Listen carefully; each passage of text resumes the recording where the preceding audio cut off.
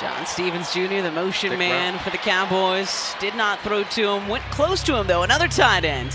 Luke Schoonmaker. Clock winding down. Greer gets it off. They'll go play action pass again. And they've got the first down. Another hookup with Schoonmaker. Back to back. I mean, this Good is just a good play call here.